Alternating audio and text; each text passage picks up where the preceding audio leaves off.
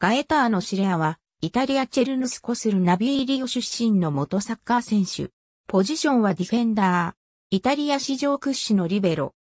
ユベントスやイタリア代表では、ゴールキーパーのディノゾフと共に、鉄壁の守備陣を築き、ユベントスの UEFA チャンピオンズカップ優勝や7度のスクデット獲得、1982年のスペイン W 杯では全試合にフル出場、決勝の西ドイツ戦ではタルデリの決勝ゴールをアシストするなど優勝の原動力となった。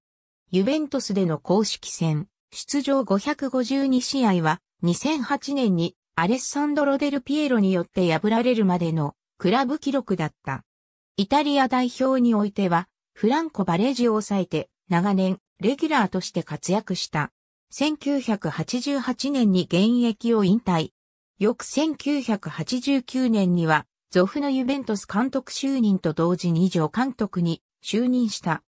同年9月、UEFA カップでユベントスと対戦する予定になっていた、ポーランドのグールニク・ザブジェを視察し車で帰国する道中、交通事故に巻き込まれ、36歳で死去した。没後、90年に新設されたユベントスのホームスタジアムであったスタディオデッテアルピの観客席の一角には、クルバシリアと呼ばれるサポーター席が設けられた。ピッチの内外問わず温厚で、紳士的な性格であったシレアは、現役生活の中で一度も退場処分を受けなかった。シレアの名は、イタリア国内では、スポーツマンシップの代名詞として、若い世代の大会名や、フェアプレー賞に冠されている。ありがとうございます。